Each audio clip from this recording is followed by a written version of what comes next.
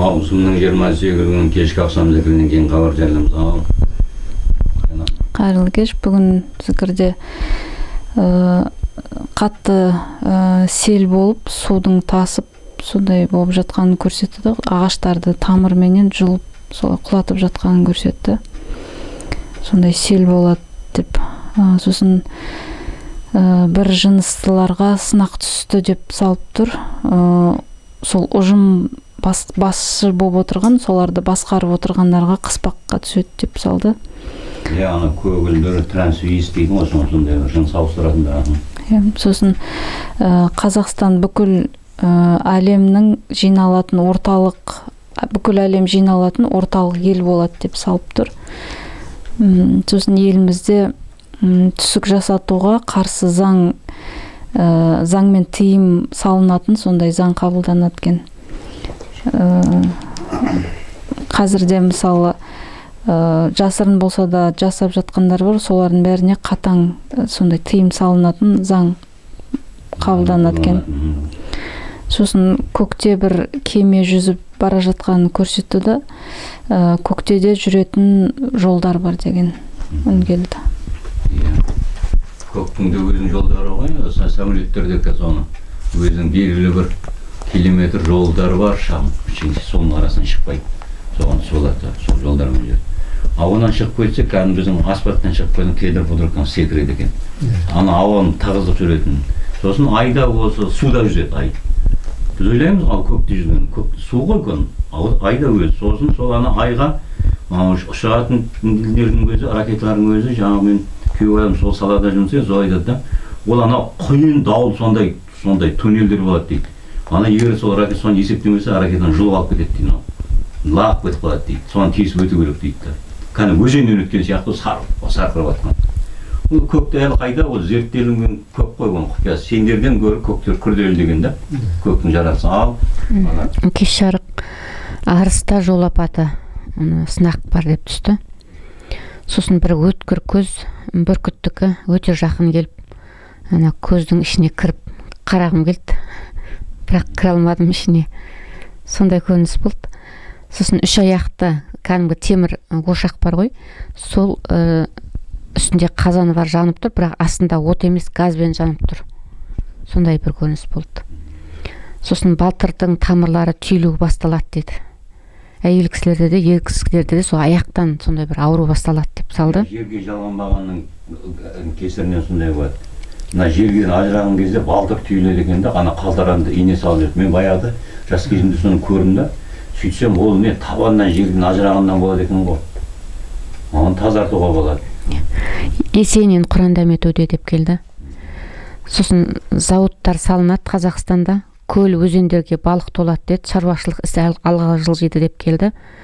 Сосын ә, бұрынғы көне дәуірде динозавр деген болды ғой біз көретінбіз неден? Сол динозавр соны тіріліп келе жатқанын көрсетті. Сосын тағы бір тасқа ұқсаған арыстанның басына ұқсайды бірақ қап қара қатып қалған ә, тісі ақсиып ашылып жатыр бірақ тас болып жатыр қатып. Сондай көріністер болды. Енді құдайдың хикметі көп қой егер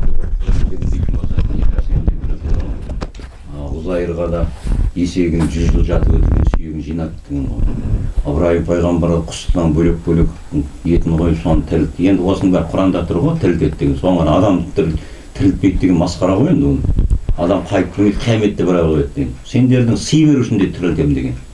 Сендердің осы қазір осы мінекей ада жолында қазір осы енді тек қана осы ғана дұрыс өмір сүрген адамдардың қазір көп еңбек етіп м, нан мен байдың майдың басын қоса алмай өтіп жатқандар да бар ғой еңбек. Бірақ бала шағасын өсіріп кетті ғой біздің әкелеріміз еңбек етіп. Соларды антынан сыйын беру үшін қайтадан сендерге тірілтемін сонда ол қайтадан болып келеді. Яғни ол байдың баласы болып келе ма бір сондай бір дәулетті бір неге келеді да өзінде де сол өнер айту ешкімге мұқтаж болмайтын қазіргі сол енді сөйтіп сыйын алуға келгендер ғой қазір ел басқарушы сондай болып жүргендер. Бірақ олар енді сол соның алланың берген жеңілдігін пайдаланып өздері құдай болып жатыр ғой өздерін тәңір санап.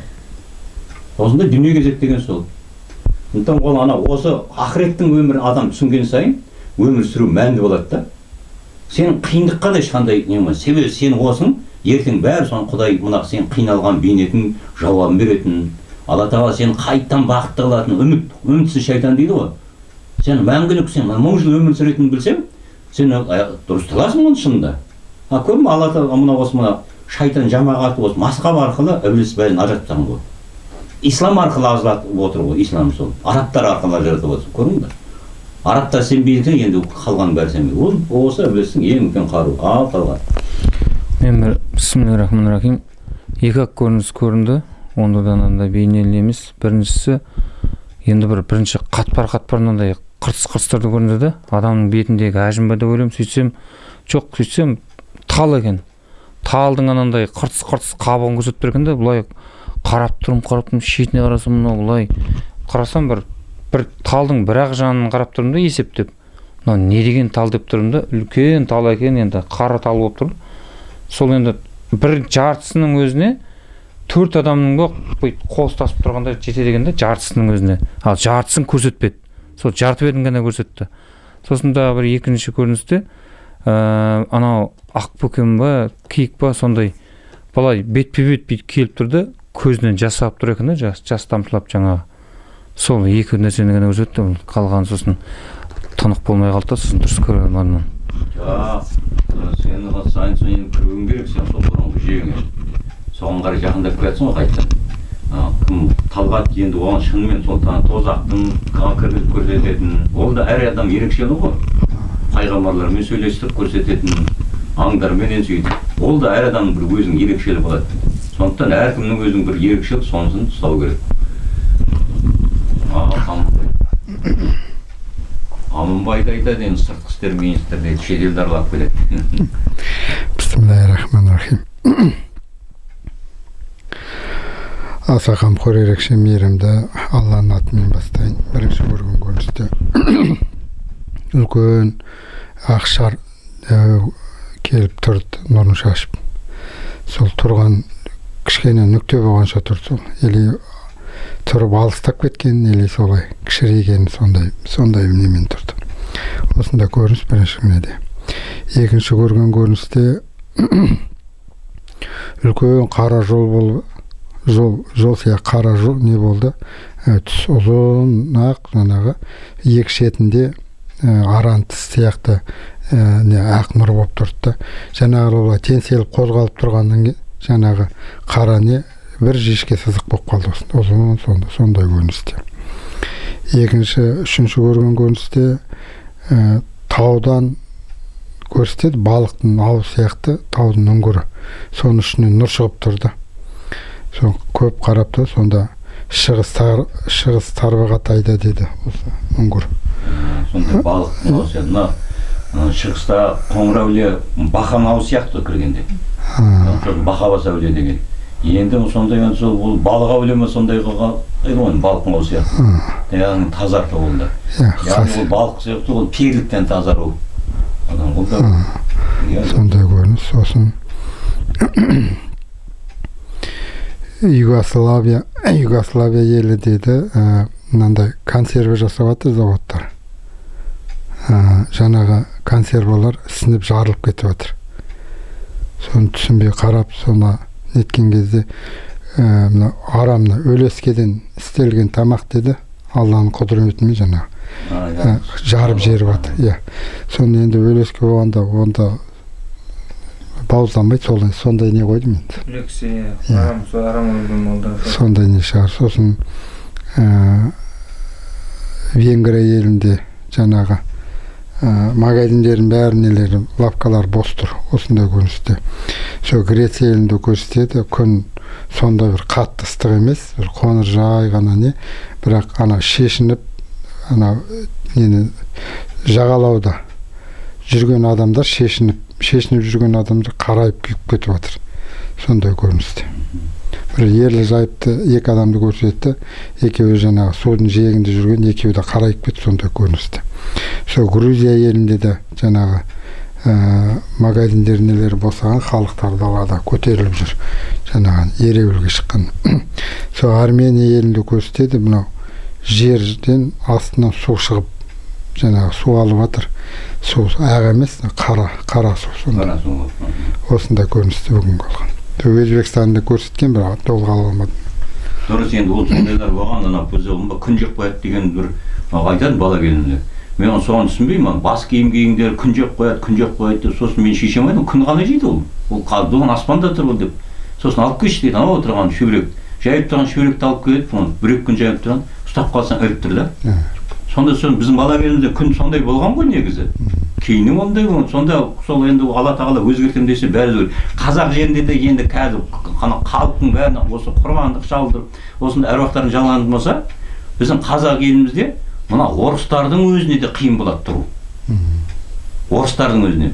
Ол ұнайды ол орыстардың мына тіптен қытай түгі қытайлар қашып кетеді біздің жерден тұра алмайды себебі ол анау жарық мынау көбейген сайын ол жерде ол тұра алмайды қанша дегенмен. Иә сен ол қазақ боласың я болмаса кетесің деген сияқты. Я ауру өлесің. Сондай сармыс деген ауру болған ғой қытайда? Сол алла тағаланың сексен бірінші жыл болды дейді ана ұйғыр тұр дейді қазақ тұр дейді ортасында қытай тұр анау қытай өліп қала береді дейді.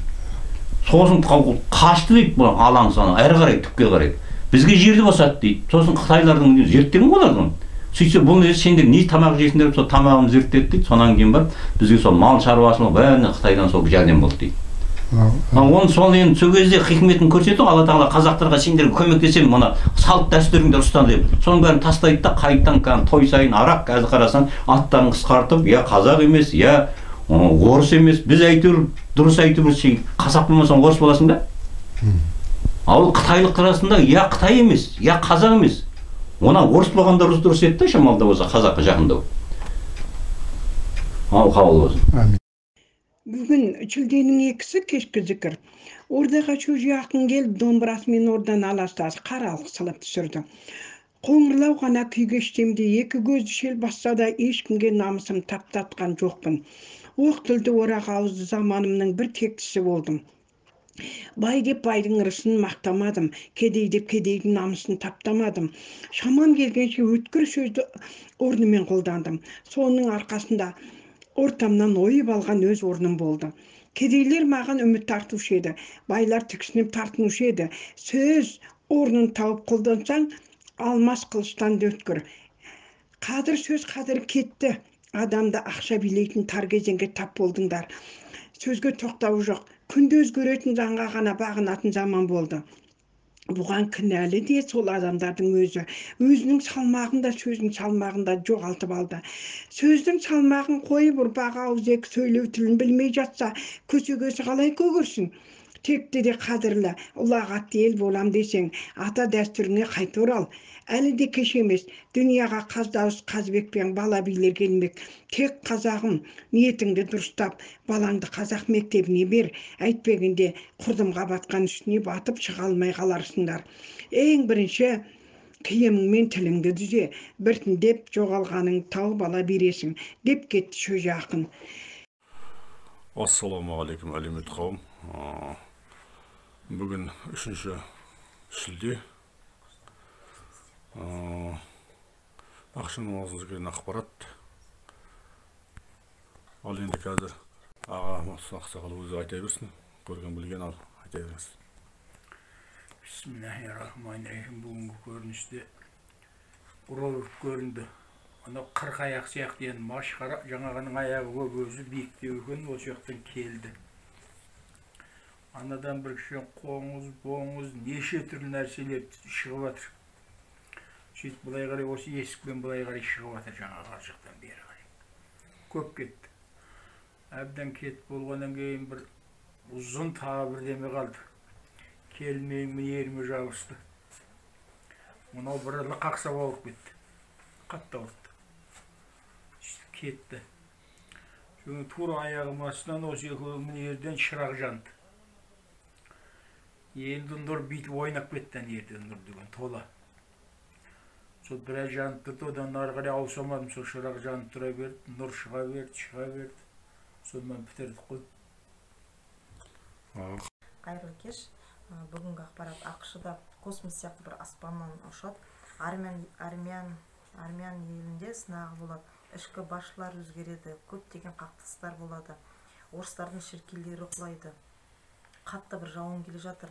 Содан абай болу керек астанада бір өзгерістер болады және де астанада аттар бір өзгереді. Көшенің бе әлде ә, бір сондай аттар өзгерістер болады екен? Көптеген және орманның ішінде ағаштар кесіледі екен. Ә, кешегі ақпарат мына суусамыр ә, сахарный диабет дейді аурулар басталады. Тәннішілердің сынағы болады. Путин сынағы тұр. Франция мен албанияның сынақтары болады. Қамшыларға абай болу керек олар ой арқылы дағдылану керек. Қырық шілтен атта қолдау салды. Алдыда бір қақтығыс тұр депті содан абай болыңыздар деп түсті. Оқушы атаның белгісі мен айша бибаның қолдауымен әл жәнібектің басы көтерілді. Жақсыға жақсы мұрындық болар. Екі жақсылық келіп қонар солай қаралық қаралық жойылар.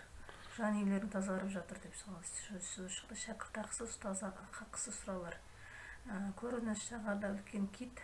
Балығы жүзіп келіп тұр яғни біреуді күткен тәрізді ықылым заманда келе жатқан қаралық тозағына барып түсер деп осылай сөз қабыл болсын таң зікірі қайназар атаның қолдауымен зікір ақпараты шырайлы жаз айында оның екінші тамында ермек қылмас сауықты ерігіп іссіз нәпсіге қайраттылықты тұла бойға ақыл жүректі байласан жерге етсең еңбекті несібенде артылар терменде ұятпенен иман келер өлшеп ынсап бабымен әр істі бақсан өлшеуіне жарарсың бас бағына.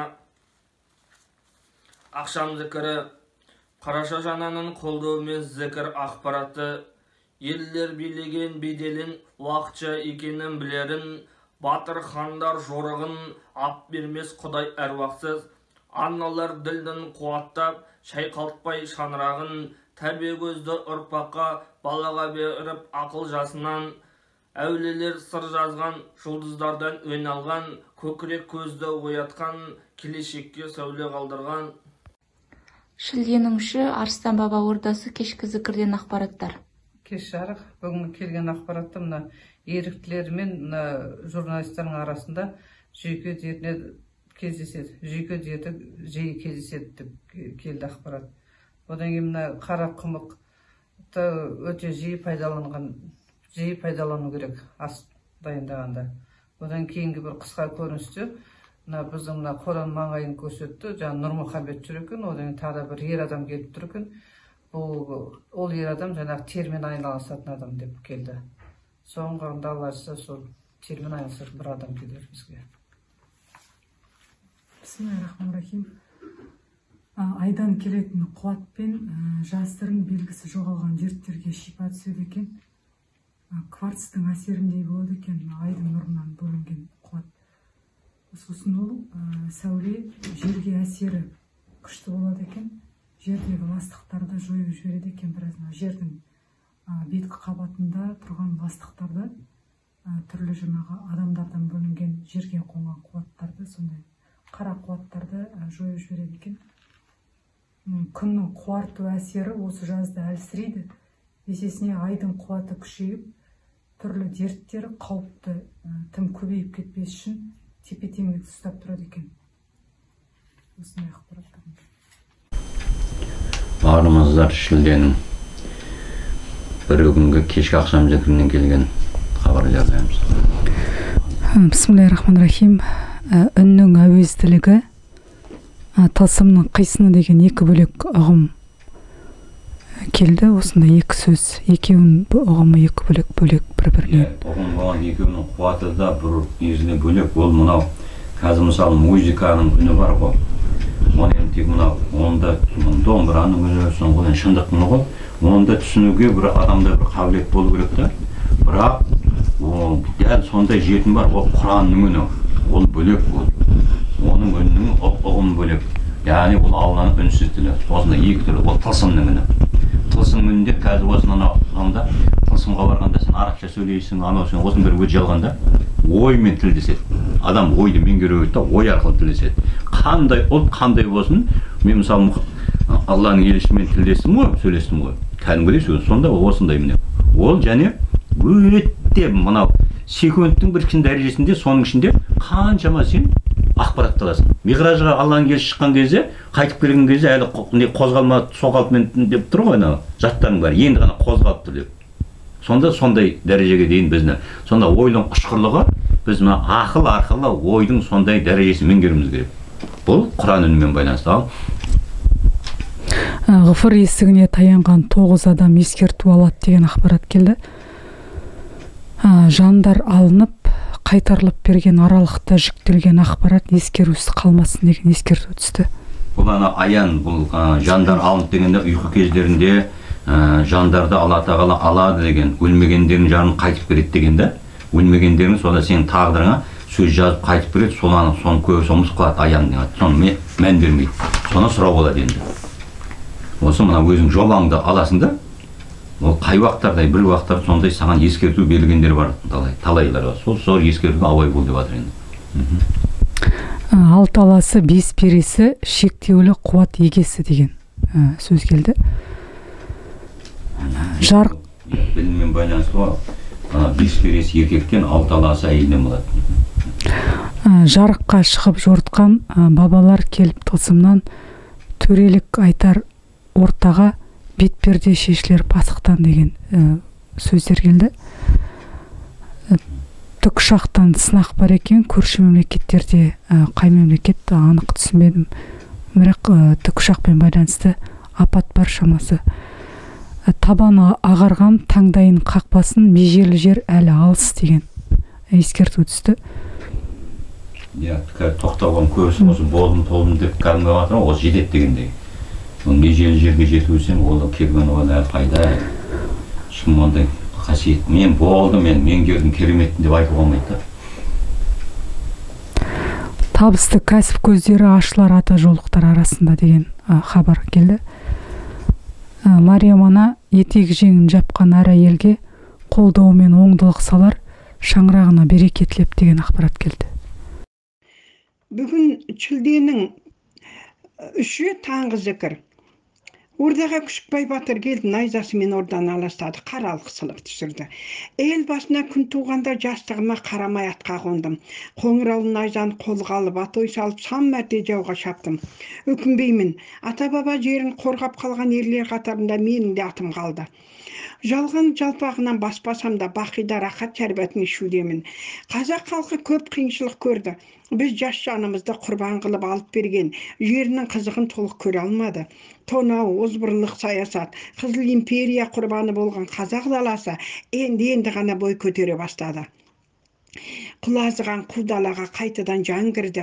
Дала төс төрт түлік малға тола бастады. Адамдар ат басын қайтадан ауылға бұрды. Алла тағала сайын далаңа тіршілік нәрін қайтадан кіргізді. Бұл жолда ата жолдықтардың салған зікірінің қуаты құйылып тіршілік нәрі қайтадан оянды. Қазір көп адам түсінбегенмен тарих өзінің шын бет бейнесін ашып берген кезде адамдардың көздері жететін болады. Ең негізгі мақсат қазақ даласының қайтадан гүлденуі төскейде төрт түлік мал өріп тіршіліктің қайнауы. Қазақ осыған жетеді адамдар ауылға ат басын бұра бастады деп кетті күшікбай батыр.